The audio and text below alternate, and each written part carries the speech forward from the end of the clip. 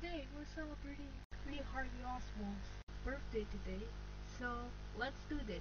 Lee Harvey Oswald shot John F. Kennedy on November 22, 1963. Two days later, he was fatally shot by Jack Ruby.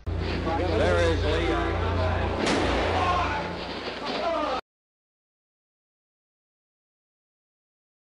Before we can say goodbye, we did all the assassins purpose.